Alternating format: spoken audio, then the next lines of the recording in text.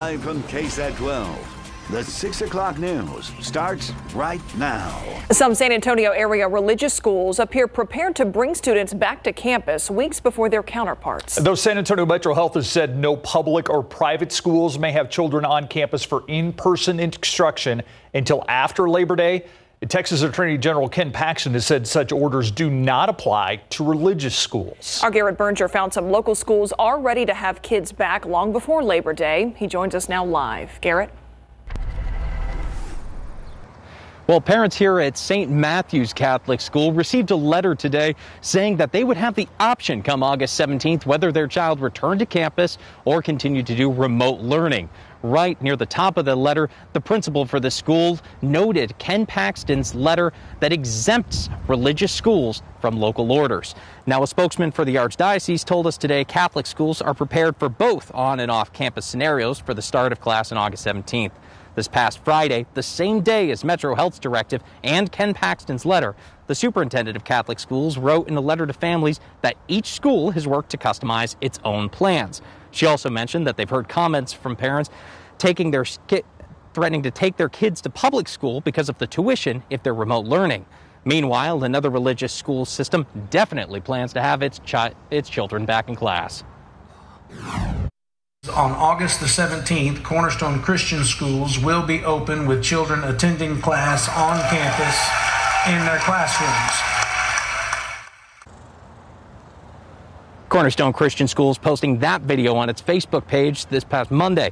The far northwest side school has students from pre-K through high school. Calls to them requesting information were not returned before airtime, so we don't have details on their plans. It's not so clear what others might do either.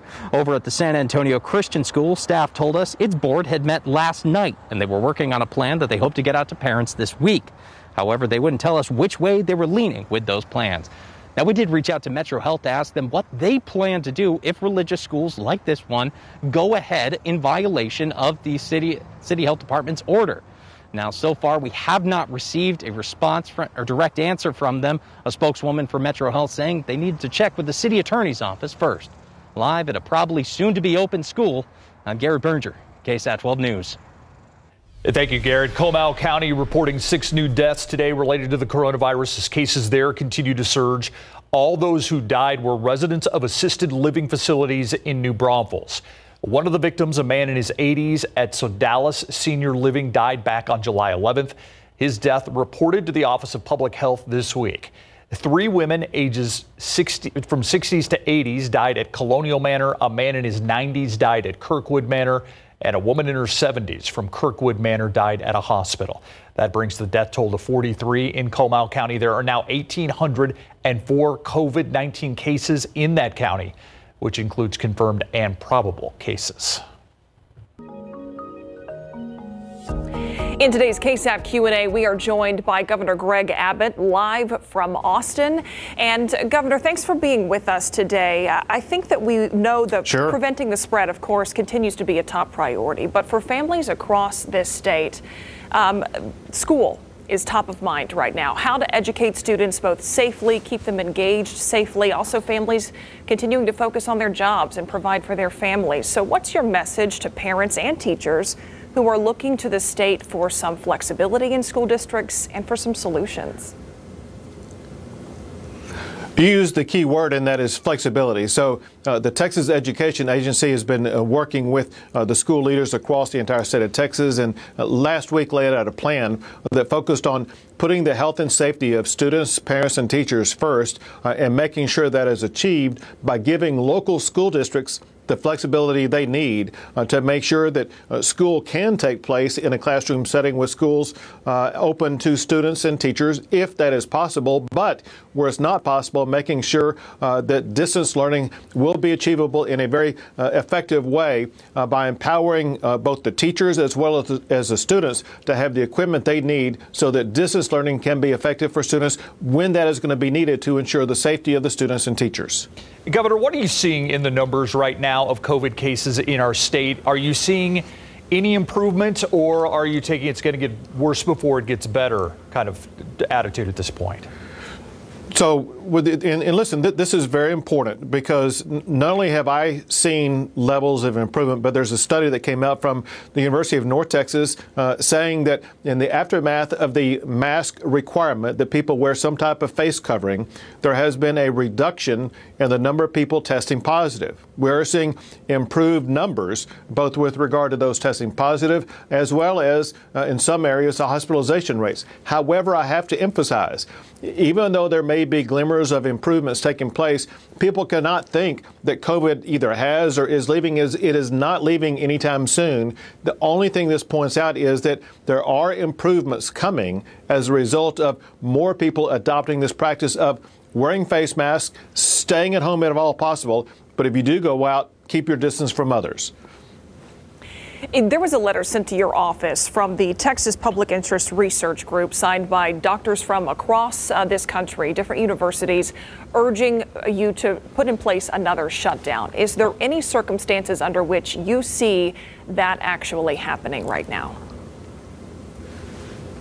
So, what what doctors have recommended uh, at the national level, uh, at the local level, at the state level, uh, and that is uh, that if everyone will adopt this practice of wearing a face mask when you go out, there will not be a need to sh- shut down. That's exactly uh, one of the outcomes of that study done by the University of Texas, uh, uh University of North Texas Health Science Center, that said that a shutdown will not be required if people do adopt this practice of wearing a face guard. And so we need to make sure we have enough time for this practice uh, to be utilized by everybody in the state, whether you're in San Antonio or elsewhere.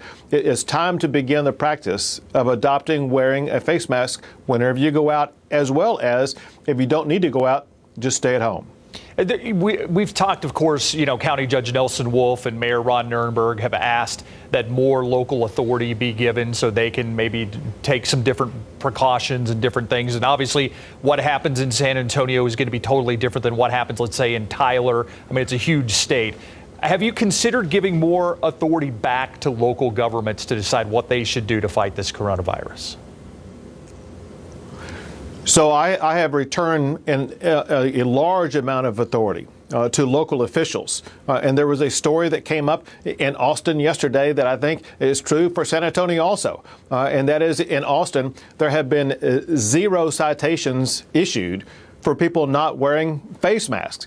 The same thing applies in San Antonio and Bexar County. They have authority to enforce all of these protocols that are safe protocols so that people, if they go out to a restaurant, they're limited to a certain capacity. Uh, when they go into stores, they're limited to a certain capacity. And they have total authority to enforce all of those rules. And so, what they need to begin to do is to use the tools and people they have to make sure that the current strategies are enforced. That way, we can contain the spread of COVID 19 without forcing people into poverty. And you mentioned you mentioned that, Governor. Families, businesses, they're still dealing with the fallout from the economic fallout from the shutdown, from businesses being uh, forced to limit their capacity right now. We heard from the state comptroller earlier this week that there will be an $11.5 billion shortfall in the current two-year budget for the state. What does the effect of that look like right now for Texans? Listen, it's meaningful that the state will face a budget shortfall, but I'm candidly more concerned about the budget shortfalls that families watching the show right now are facing because of shutdowns. And that's that's why uh, I'm, I'm working every single day to try to make sure that your viewers are going to be able to earn the paycheck they need to pay their rent and pay their bills, while at the very same time making sure we have the safest practices in place to make sure they do not contract COVID 19. Governor Greg Abbott live from Austin. As always, we appreciate your time, Governor. Thank you. Thank you all. All right, let's check out TransGuide right now before we head to weather. And we're actually looking at 410 at Jackson Keller, where things are moving along very smoothly, maybe a little busier than we've seen in some recent days. I know it's it's been smooth sailing out there, but at least it is now as well. All right, look outside with live cam right now. It is 99 degrees, awfully close to that triple digit mark. Yeah, another day very close to triple digits, but not quite there. And obviously, we need some rainfall. The aquifer down about another half a foot today, and the 10 day average is 655.1. That 10 day average is important because once it's 650, that's when stage two restrictions take effect. And taking a look at the radar, we have a decent amount of activity in a little area of the hill country. We're talking Edwards County, Real County, and that western corner of Kerr County. That activity should be coming to an end as we lose our daytime heating. Other parts of the state, some rainfall out there, especially East Texas and up near Lubbock as well. But the main focus is this area of active weather over the eastern Gulf of Mexico. It's starting to come together a little bit more, becoming a little more organized. It's a broad area of low pressure. I think odds favor it getting a title of tropical depression later tonight or tomorrow morning, maybe even tropical storm. That would be Hannah. However, regardless of title, the way it looks right now, the impact would be the same for us. And that would be some areas of good rain across parts of South Texas. For our area, that favors Saturday, Sunday time frame. And once the system gets a little more organized, we'll be able to predict it better and be able to really hone in on how much rain and where and who could either see a lot of rain and who could see really no rain. The possibilities are there for all of South Texas, so we will have better information. But right now, Saturday, Sunday, equal chances of those scattered showers, some of which could be some good soakers.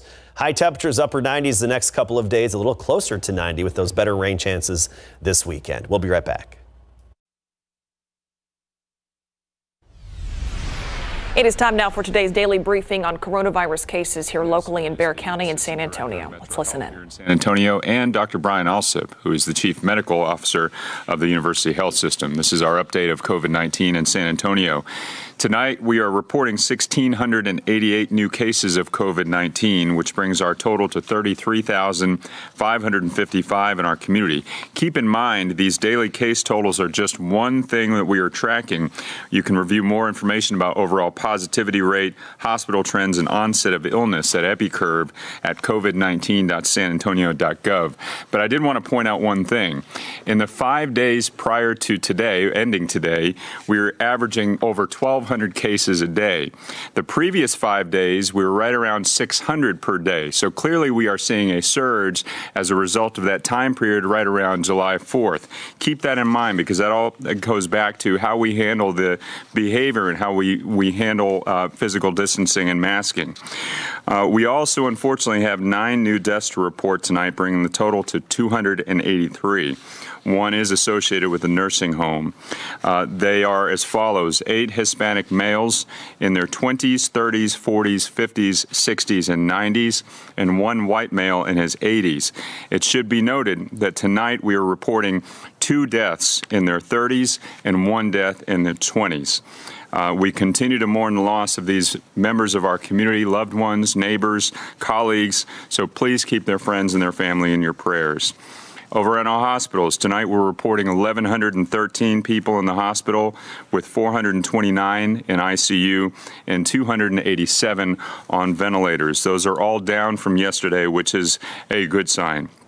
There are 51% of ventilators available and 12% of hospital beds available, and our hospital system again remains under severe stress. Let's put some of these numbers in perspective, though. Uh, the graphic you see on the screen is a snapshot of overall hospitalizations of the overall cases that were hospitalized, the 0 through 19 age group is made up of, of average of 5% of overall patients in the hospital. Of those age group, 36% of hospitalized cases are among infants ages 0 to 2. So this goes to show you again, no age group is immune from this virus. So please do not risk the life of another person, whether elderly or young, by not following the guidance of our public health professionals. Wear a mask, wash your hands, keep six feet of distance between yourself and others. And a loved one, in many cases a child, is depending on you to keep them safe. One last thing before I turn it over to the judge. I did talk about the SG2 model yesterday, so I'd put that uh, graph on the screen. SG2 is a company that produces a model showing projected hospitalizations over the next few weeks. On this graphic, you'll see the black line shows where we actually are with regard to hospitalizations over time. The blue line will show you the projections if the public protected themselves by wearing masks and physically distancing over the 4th of July. We know that that wasn't the case universally. So that would have been our best case scenario. If you look at the green bar, it projects hospitalizations if people exercise no precautions over the 4th of July. So as we move along over the next few days, we think we're going to be somewhere in between that blue and green line. But certainly we are hoping that this plateau remains and begins to decline, and it all depends on how we handle the next few weeks in terms of masking, physical distancing, and personal hygiene. So please do your part. I'll turn it over now to Judge Wolff. You're, you're correct, Mayor. Uh, we have a chance to finally get hold of this thing uh, if we'll hold together and do the right thing. Uh, we hit a high point on hospitalizations on July the 13th with 1,267 in the hospital. And in the last 11 days, we've seen a small decline, but not enough to really determine whether we're turning the corner or not. But we've had about a 154 decline in people going in the hospital. Good, but again, too early. But the bad part of that is that we are not uh, declining in terms of um, people that are on ventilators and people that are in ICU. Maybe a tiny bit of difference, but that's still very high. And those patients are very much at risk. And uh, we, we hope they're going to recover. But I think there's a couple things we need to remember now. Um, people used to make light of this, and it used just really irritate me when they say this is no different than the flu.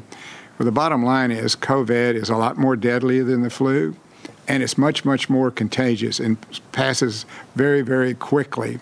Uh, the way it stands today, on average, of about a thousand people that would pick it up, ten of those will pass away.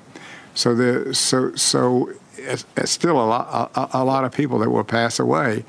Uh, but more important than that, uh, in, in, in, thinking about how we need to handle this, is that if you had COVID, and particularly if you ended up in the hospital, and particularly if you ended up in um, ICU or on a ventilator, uh, when you come out, the game is not over. There's some long term health consequences of having COVID.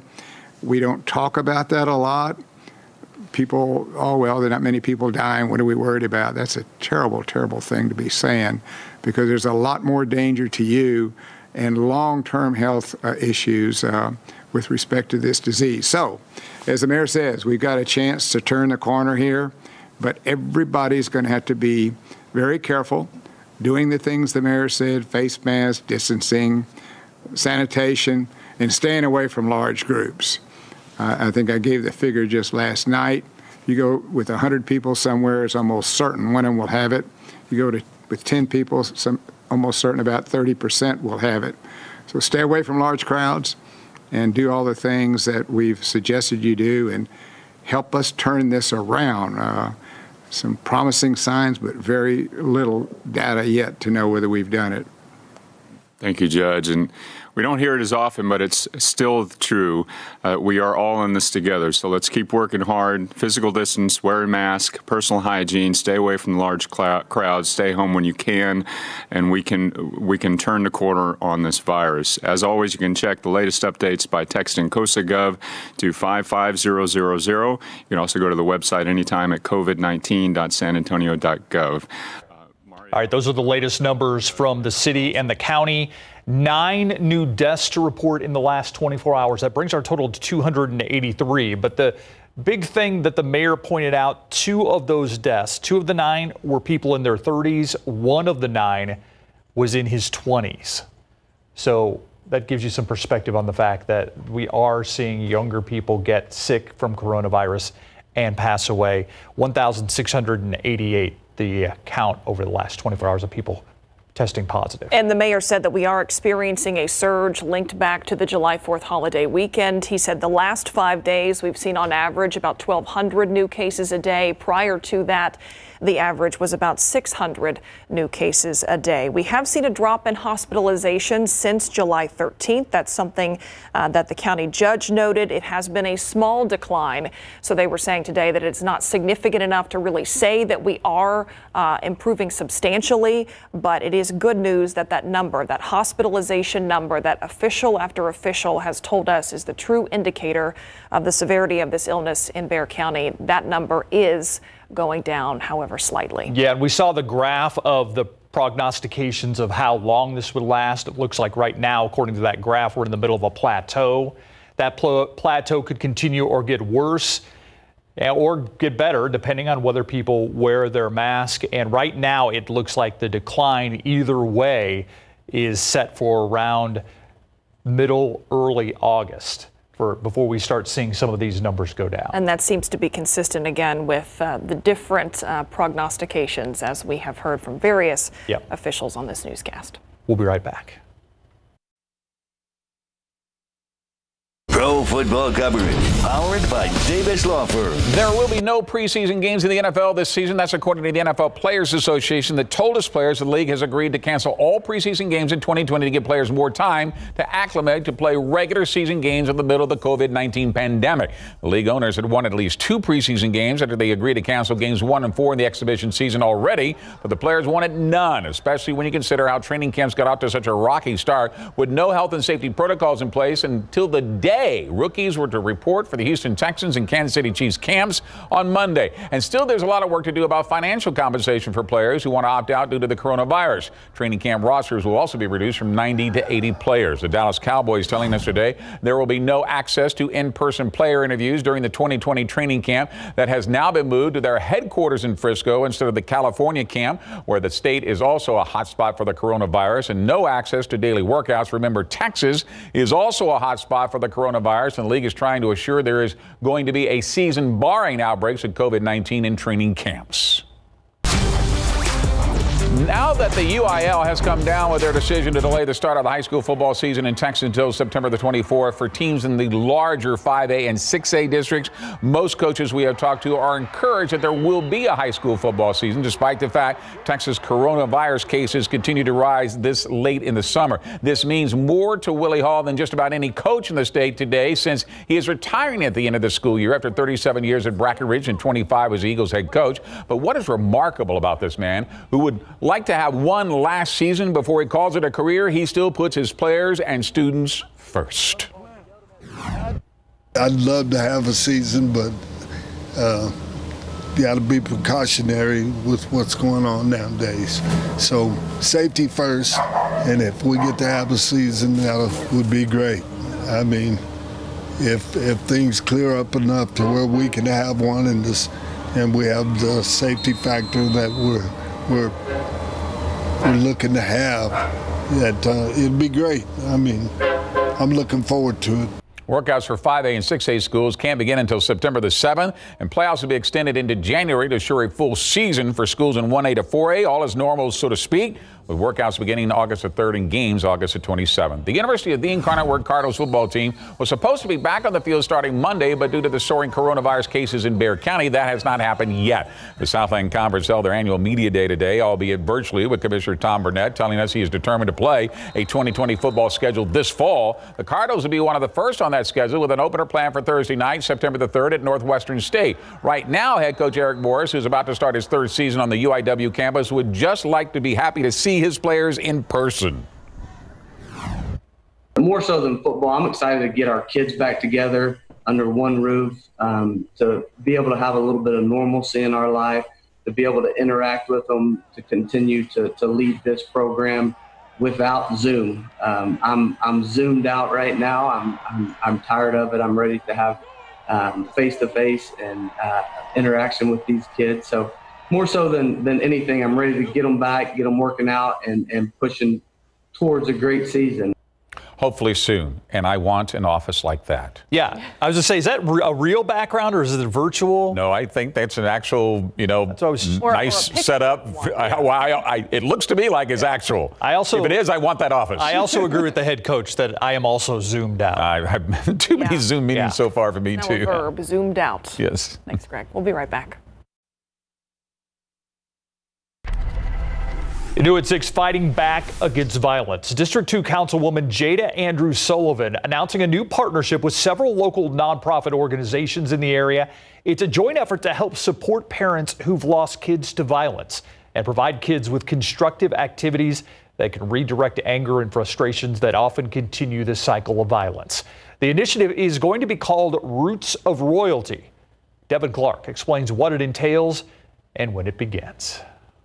We had a young man get shot at a hundred times, and he is fighting for his life as we speak right now. The stories are painfully similar. I had an 11 year old uh, cousin that got shot last month, and um, it really affected him real bad. A handful of uh, relatives um, had, that have lost their lives to um, gun violence. These community leaders say they're fed up. Enough is enough. We're not going to bury no more kids. Now, teaming up with District 2 Councilwoman Jada Andrew Sullivan for the Roots of Royalty initiative. We're bridging this as a learning and entrepreneurship training program and it will include a boys summit as well. Other parts of the effort include support for grieving parents, to um, restore them, rebuild them, and redirect their paths. and outreach by those who've survived gun violence. Be a voice.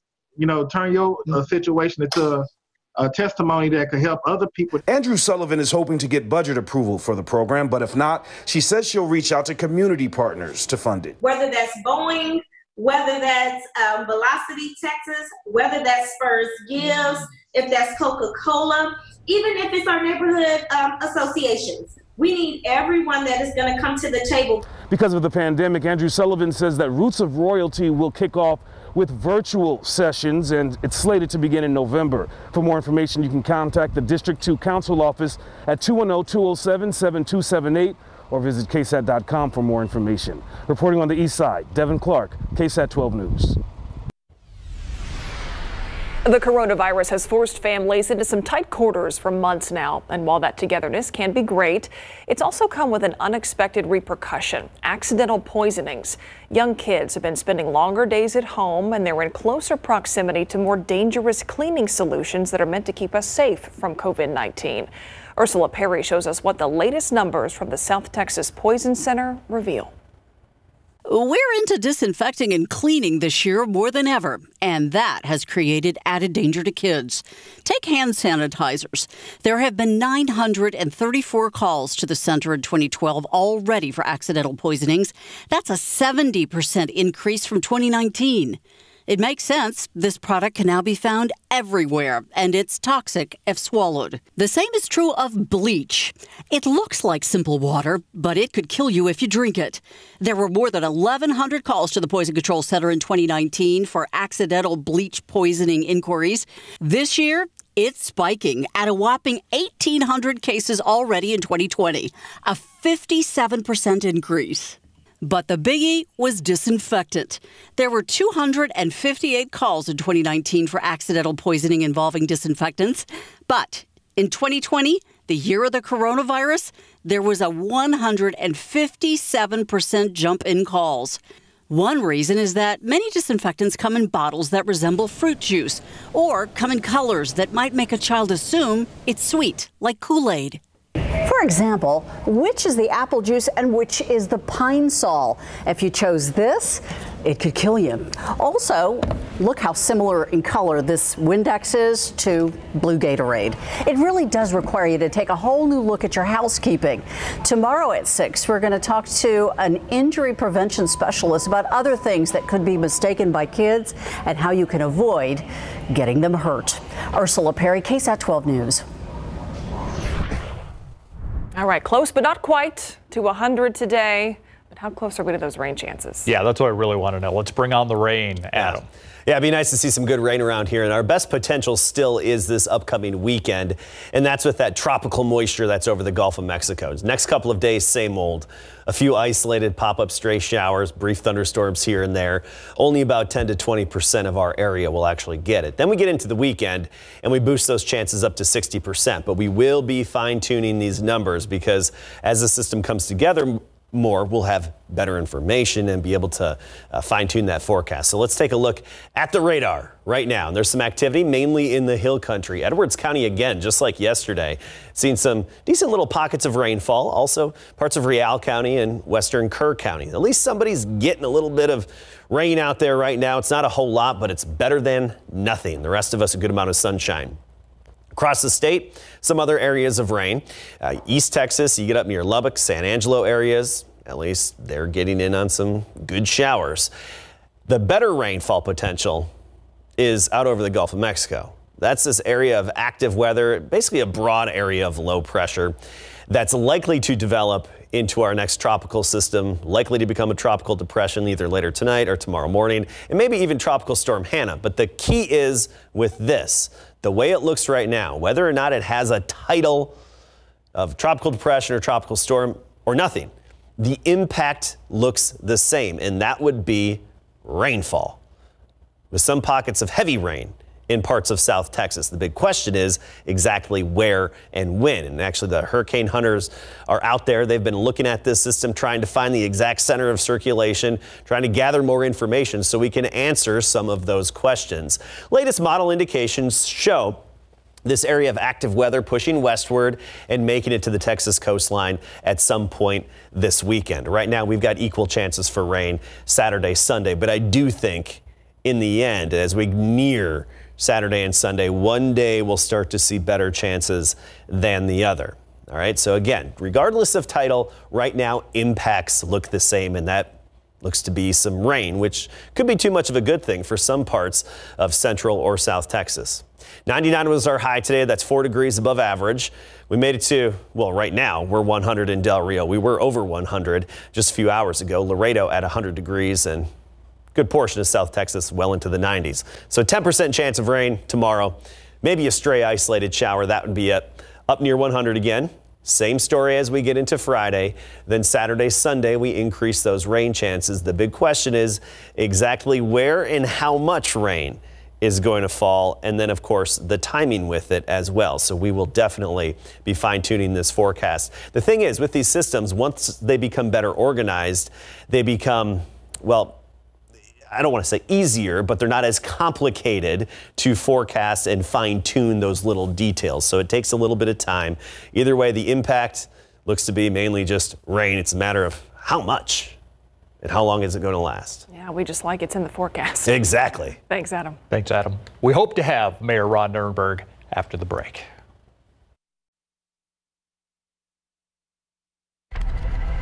New at 6, an old warehouse on the near west side coming down to make way for new housing. The Tampico apartments are said to be the first such investment there in years. 200 units will be built at I 35 in Tampico. Jesse Degollado tells us the project will provide some of the affordable housing that's critically needed on the west side. The colorful Bienvenidos to San Antonio's west side apparently works.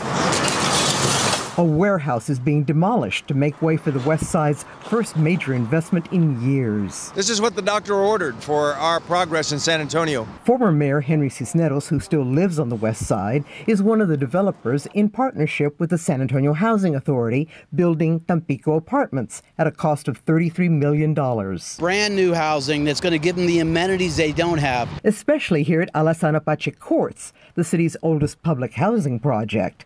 If residents were to move ahead of its planned demolition and redevelopment, could they afford Tampico apartments? Thanks to vouchers tenants are given. So those clients can move to that property without feeling that pressure of the rent escalating. On its low end, affordable units will start at $324, up to over $1,500 for those that are market price, those that could appeal to the expected influx of professors and students when the UTSA downtown campus is expanded. That's another concern. Mi barrio no se vende, my neighborhood isn't for sale, is a message not lost on the former mayor. We want new investment, but we don't want it at the expense of the people who've been here. Jesse Degollado, KSAT 12 News. Time now for another edition of KSAT Q&A. Today we are joined by Mayor Ron Nirenberg, as we are every Wednesday, to talk about the very latest in COVID-19 here locally. Mayor, thanks for being with us. I want to start talking about schools, if we can. We talked about earlier in this show how some religious schools in San Antonio, they're preparing to open their doors to in-class learning prior to Labor Day, and that goes against what Metro Health has tried to put in place. So do you have any idea what the city's response, Metro Health's response, is going to be uh, in determining when those schools could start? You know, the public health guidance and the local public health authority, which is given, um, you know, the authority to um, deal with this issue, is really making decisions based on public health, and that's the way it should be. So the directive is for public and private schools and should be heeded that way. So, uh, you know, th- these again are not made uh, through anything other than what can keep our community healthy and safe and she has made that determination that the best thing to do for our public schools and our private schools is for them to open uh, in person only after Labor Day. But how does that balance with what uh, Attorney General Ken Paxton said that religious schools uh, don't have to abide by the after Labor Day guidance? You know, as I've said before, uh, the Attorney General really has just caused a lot of confusion and has put uh, you know, his uh, has put out these statements that really uh, detract from what public health professionals and medical experts are telling us to keep people safe and healthy. You keep in mind back in in April uh, when we had a mask order in place that was protecting the public and has been shown to really stop this uh, turn around the surge that we're seeing. It was saving lives. The attorney general put out a letter saying that we couldn't do that the governor had to reverse that and, and put the order in place, both allow us to do that locally through businesses as well as statewide now. So if our interest is in saving lives and keeping people keeping people healthy in our community, we would be best to ignore the political messaging of the attorney general.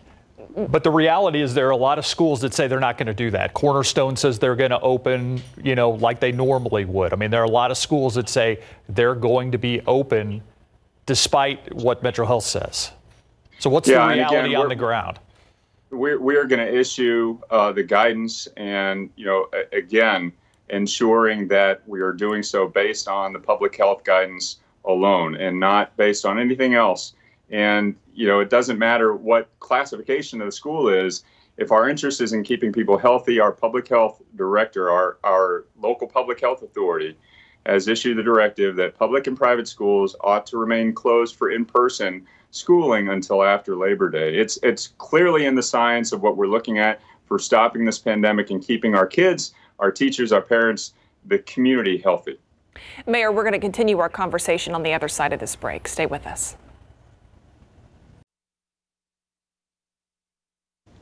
We are continuing our Q&A with Mayor Ron Nirenberg. And Mayor, we want to be as clear as possible about schools uh, starting, religious schools, sure. private schools yeah. starting. Can Metro Health put in place any kind of penalties or actually prevent private schools from beginning in-person learning prior to Labor Day? You know, that's that's still a little unclear given the, the mass confusion that our Attorney General is trying to create, but we will certainly have some clarification of that from our city attorney. But but again, I would appeal to people's sensibilities here. We see hundreds of people dying in our community on, uh, now uh, since July.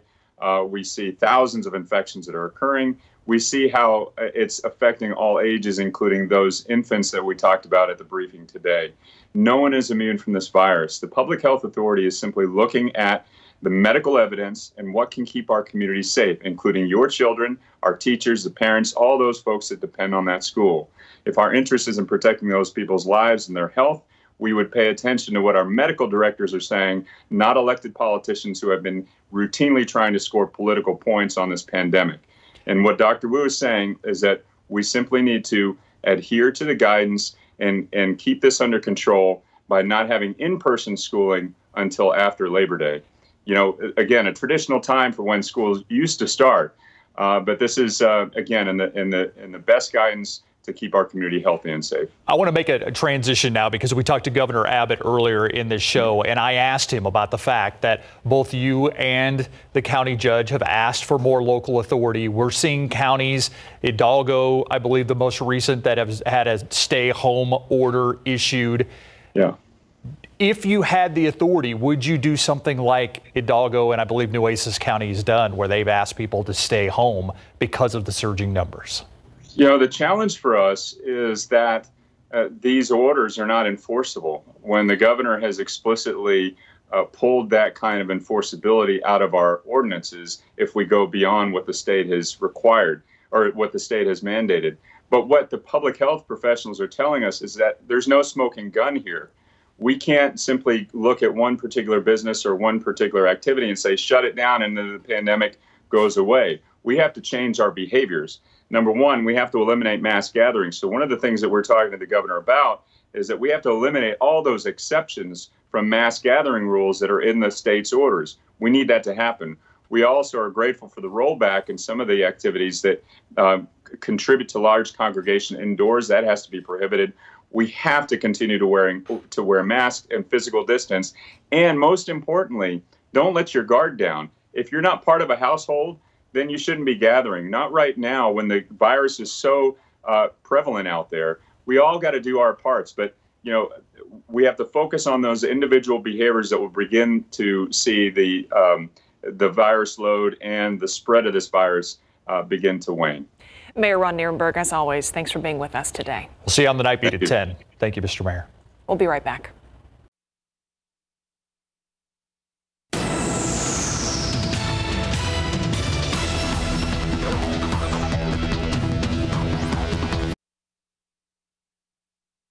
More of the same the next couple of days through Friday, then into the weekend. We boost those rain chances a bit. Still a lot of uncertainty surrounding the exact timing and uh, how much rain and where, but we'll keep you updated and we'll be uh, fine tuning those details in the days ahead. All right. Thanks, Adam. And thanks for watching the news at 6. We'll see you tonight on the Night Beat at 10.